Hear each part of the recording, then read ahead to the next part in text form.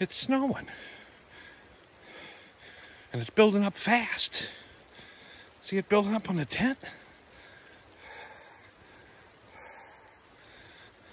I hope it don't collapse. I'm going to bed.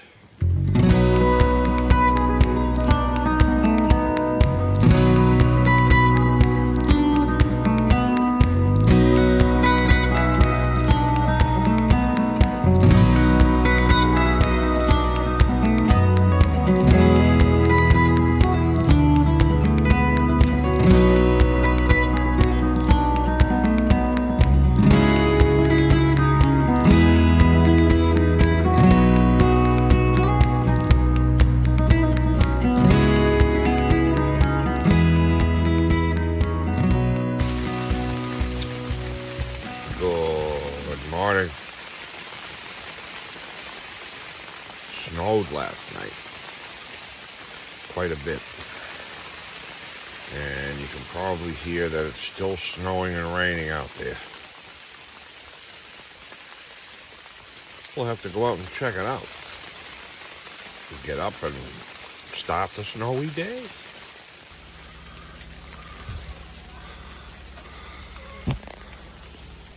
Looks a little snowy out there.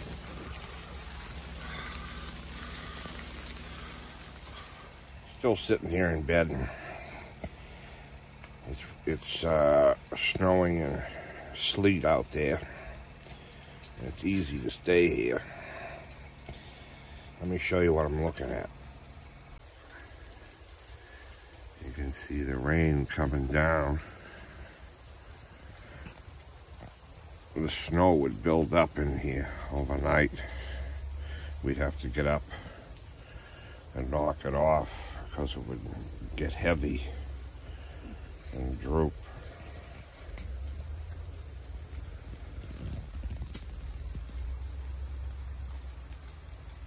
You gotta sleep all day? Time to shovel. You shovel out? What are you wearing? Cat flying on a piece of I can't tell what it is. Cat flying on a piece of pizza. Is, is that your snow shoveling shirt? That's the shoveling shirt. All right, I gotta get up. Wow, look at all this snow. About eight to ten inches out here. Wow. I'll have to go out and look around. Time to get up.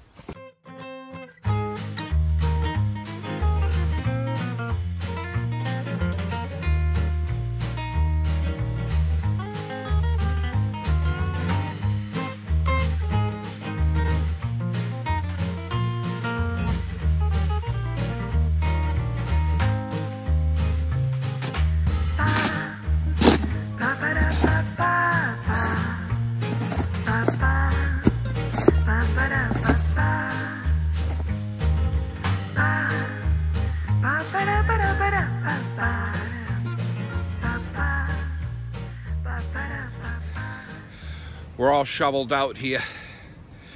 We're going to take a ride uh, into town and uh, grab a breakfast. We don't want to cook inside and create any more moisture than what's already in there. We let it dry out. We opened up the vents while we're gone. And uh, then we'll be back.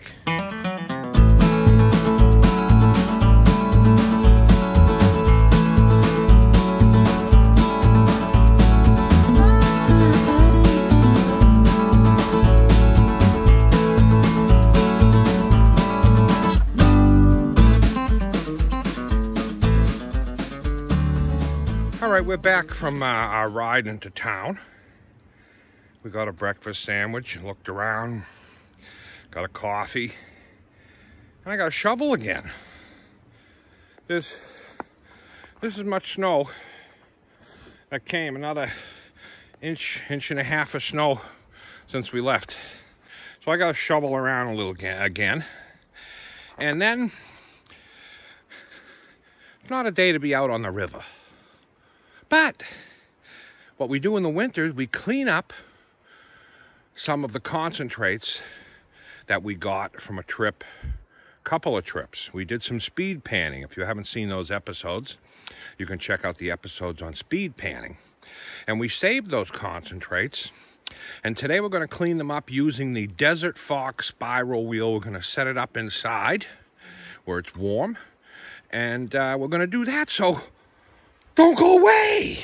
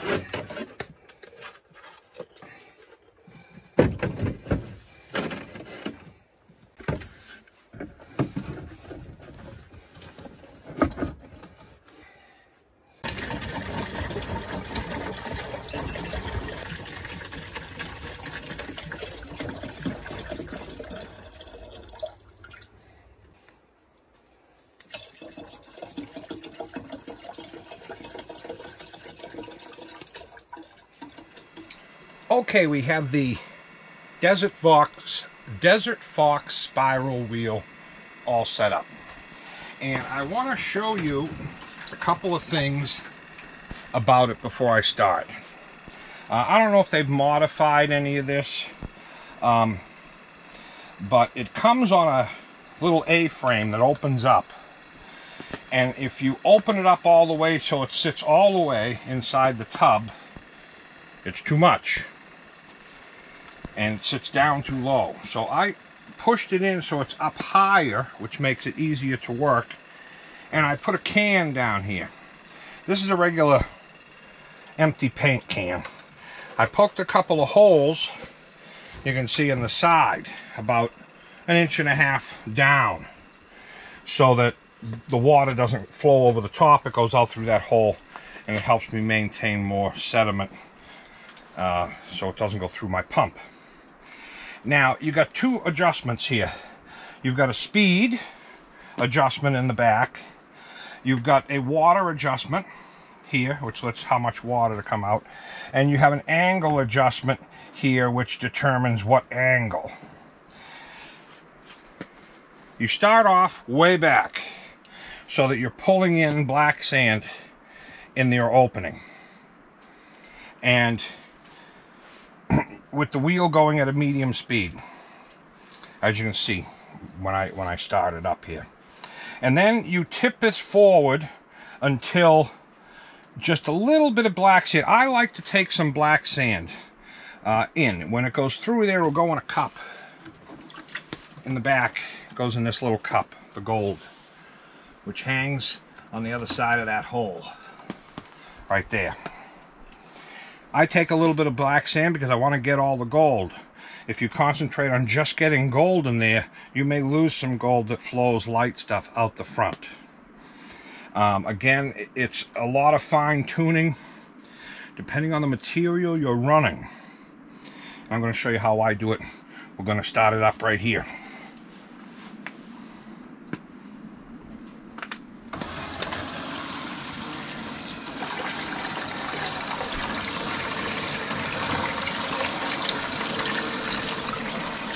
All right, I'm going to start off with this.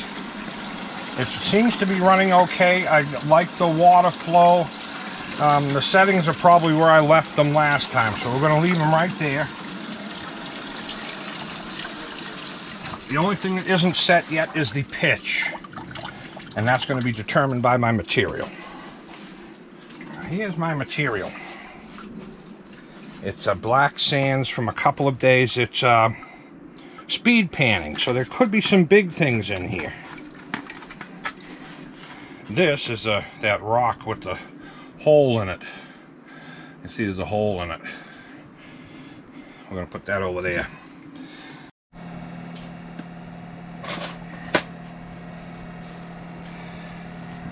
All right, we got it all set up. Let's give this thing a whirl.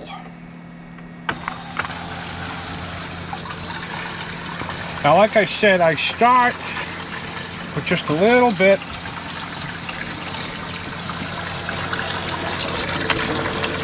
And you'll see it climbing up the, see how it's climbing up? And it's going in. Now that's, it's too much is climbing here. So I'm going to move it down a little bit.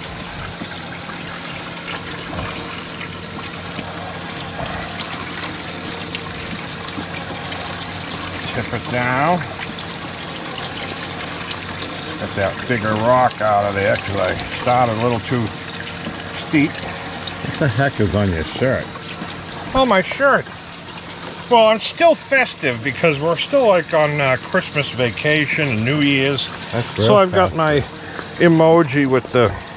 That's a poop. like a pile of poop. Green poop. Green poop. Never a dull moment. You can see the tailings are getting caught down there.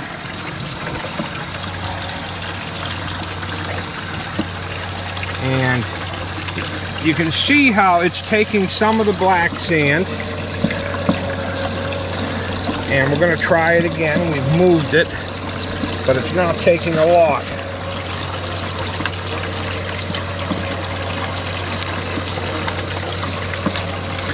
Okay, it's still taking a little bit too much.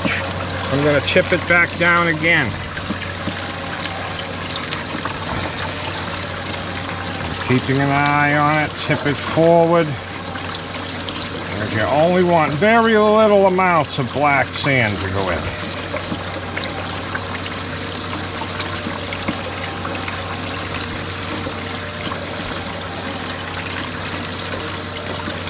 It back a little. It's fine tuning it. You can see how far the black sand is traveling up and it gets washed and lost right about in here. That's about what you want. I'm going to come back just a little bit.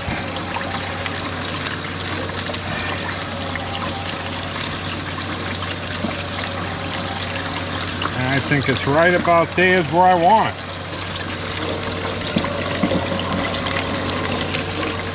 And the light stuff pours off here, goes into there. Let's try it out.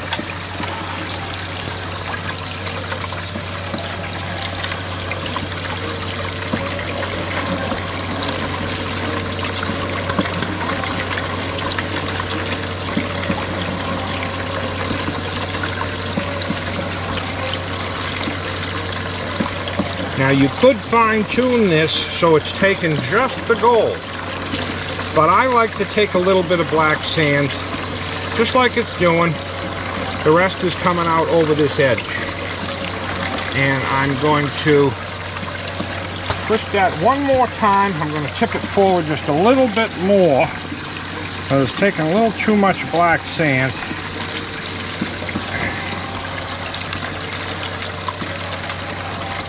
And we're going to go with it right there. And I'm going to continue to run this. And when I've got it all put through I'll be back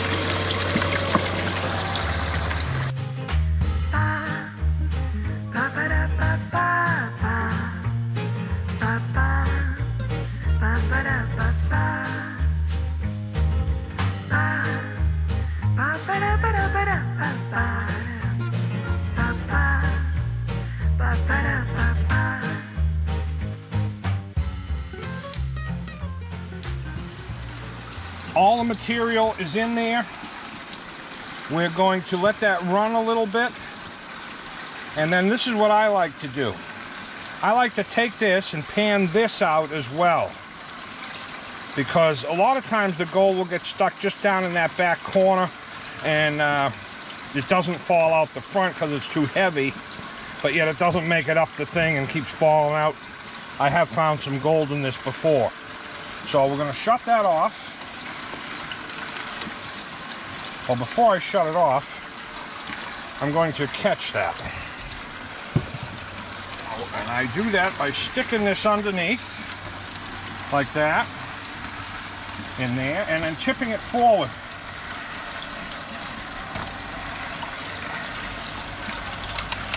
And then the stuff in there will wash out.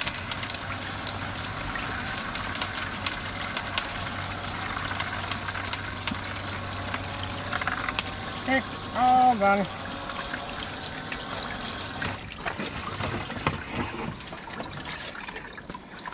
I got it in there. I'm going to check that first. But gold, gold should all be in here. But first, I want to see what's in here. So I'm going to try to pan this out somewhere.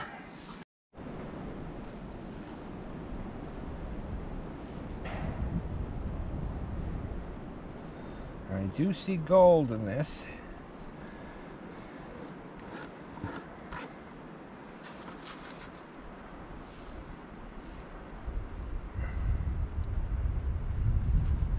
I'm surprised the whale usually does pretty good. Yeah. I could have let it run a little while longer and eventually maybe it would go up. So let me show you what was it was still in the wheel. It wasn't pushed out the front. So Can't be much, I can't even find it. Oh, right there. there's some real fine stuff. Not Yeah. that much though. A little bit. Yeah. I'm going to suck that up and then we're going to pan out the tailings and see if anything's in there. These are the tailings. I want to see what's the rate of loss here. These are the ones that actually fell down into the tail, right? Yeah. That came out. You got someone plowing over there. There is a few little pieces. Can you see them? They start here and they go over to there and they're real fine. Only the very finest.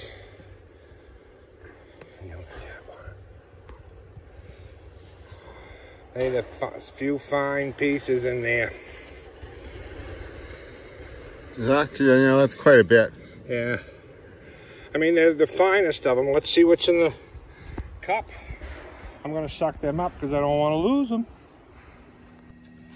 Moment of truth. Now we have the cup. Now, as you can see, I uh, collected a lot of black sand with it because I wanted to collect as much as I can of the gold because my experience with this is it does lose a little.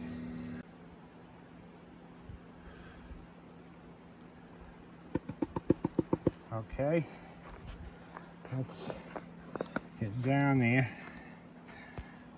Oh yeah, I see some bigger pieces in there. Wow, that's quite a bit. Let me tap it up. See what's in there? That's not bad. Wow, there's a lot of pieces. A lot of pieces in there. Some bigger ones there too. Ah, that's a pretty good pan. Yeah, it's all up in the top there. I'm gonna take that all, suck it all up, and uh, we'll be back and we'll talk about this.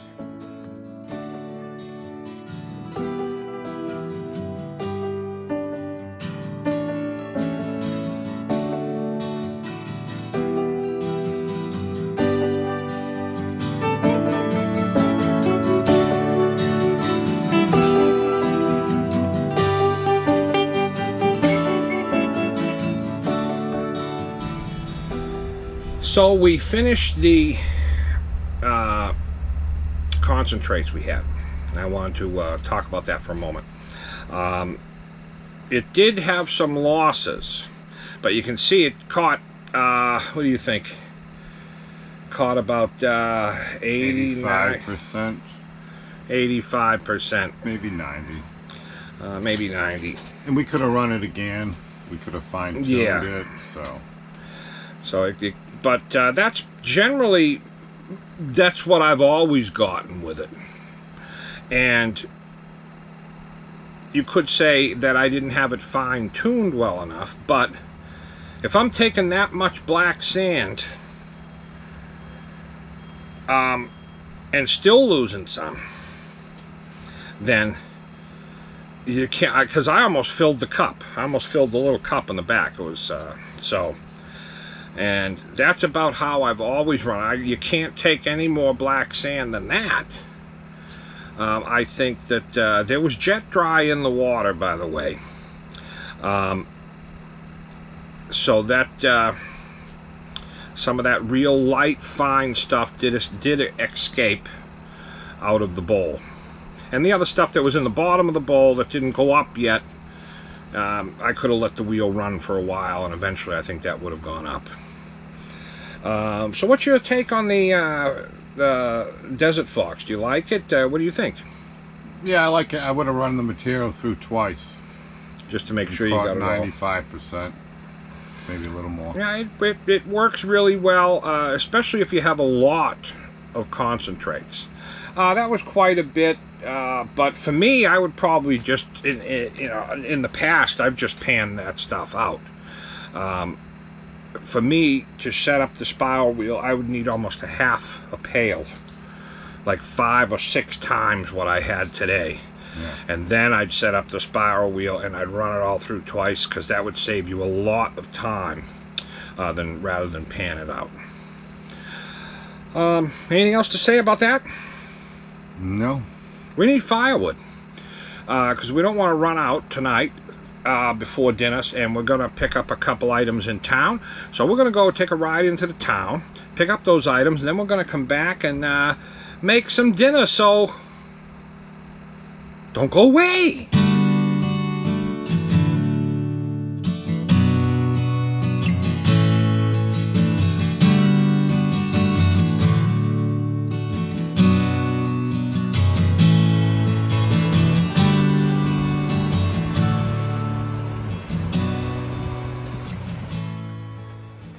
Got back from town.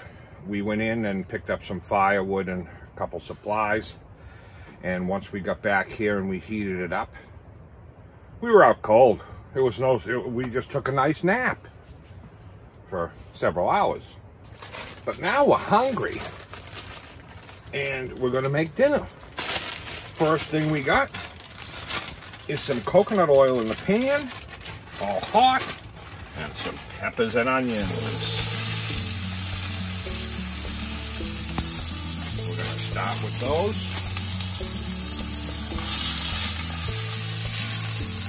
Well, those aren't onions. Those are peppers and peppers. But I'm going to add onions to those. I'm going to chop up an onion and add it right in there.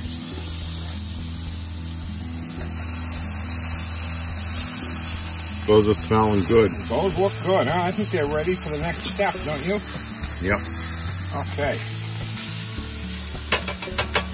Those smell great. Next step. The shaved steak. Look at that. Oh, little juicy steak. A little piece of paper to go with it. And the paper. Who's going to get the paper? Oh, I get that. Right in there. Is that juice pouring down the front of it? Juicy.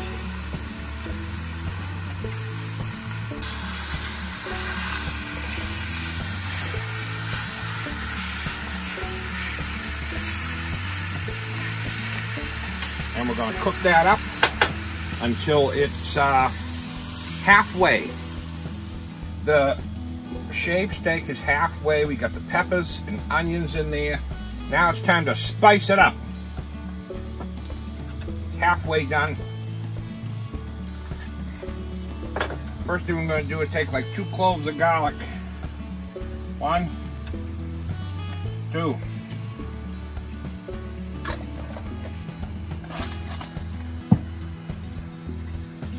And a nice portion of ginger. Ginger adds some spice to it as well. Let's see here. Whoa, we like that. Probably two teaspoons, that look like to you? That's about that. Now, I'm going to add some Wildtree Rancher Steak Rub. It has spices in there. I can't tell you what it is because they don't tell me what it is. Oh, wait a minute, it's in here. Salt, pepper, uh, garlic, and spices. But I don't know what those spices are. It must be a secret. But I'm gonna put some of that in there. And there's salt and pepper, so You can put salt and pepper in yours if you want to make this. And you can skip this part and it'll be pretty close to the same. All right. Now some soy sauce. Add some soy sauce in there. A couple of tablespoons. That'll add a little bit of salty. Um, we've got this is a these are Montmorency cherries, dried. They're a little bit on the sour side, kind of a cherry, and that's good because we're gonna put a handful of them in there, like that. Gives it a little bit of the sour that you want in there.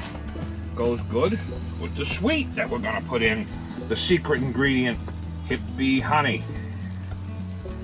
This will make like a honey teriyaki sauce with some uh, interesting flavors in there with the cherries and the peppers and onions. Oh, here it comes. Wait for it. Oh, and we're gonna go around.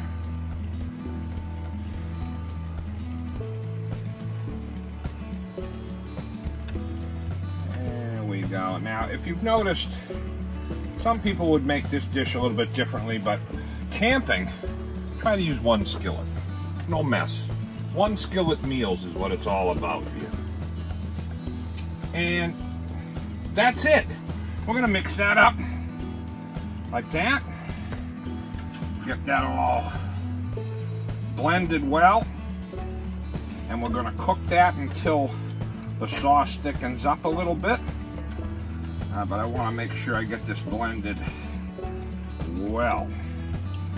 And we're gonna keep cooking this and we'll be back. Let's give it a look. Let's take a look at it here. Oh yeah, the, there's a little bit of sauce left there, but a lot of it has dried up. The sugars have caramelized. That's looking really good. I think that's done.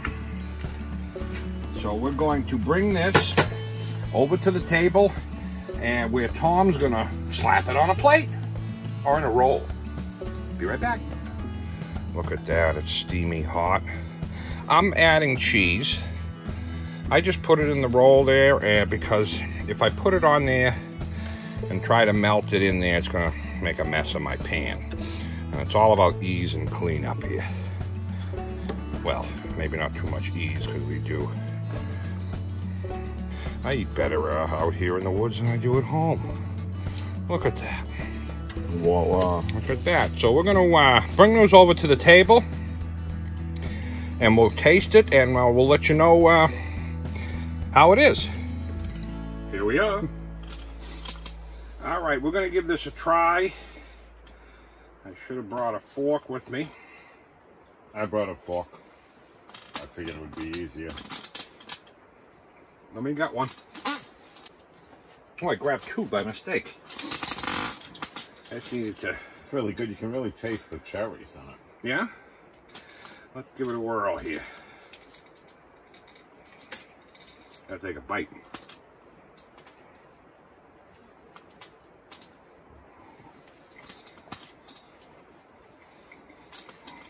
Mmm, Pretty good. mmm.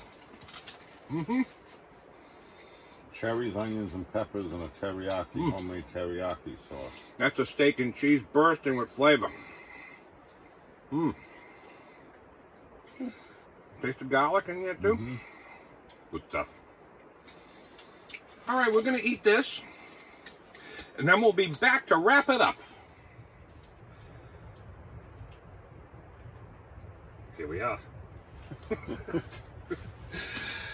uh, it was a great day. We uh, used the spiral wheel, and we got those concentrates that we had from the fall all cleaned up. Um, and the weather last night was snowy. We got about what? Seven inches of snow? Maybe a little bit more than that. Eight or nine. wet. Yeah. Heavy. and it would weigh down the roof of the tent. It was sagging in here. So we had to get up several times and get the snow off. It was an interesting night. But uh, we weathered the storm. The tent's all dried out now. There's no snow on the tent anymore. And uh, we had a great dinner. What'd you think? It was good. Good. Uh, we weren't so, uh, we talked about the cherries in it. We'd probably hold the cherries. So if you make something like that, the dried cherries, I'm not a, I never really liked the cherryaki as they call it. And it, I think I would skip that next time. You think so?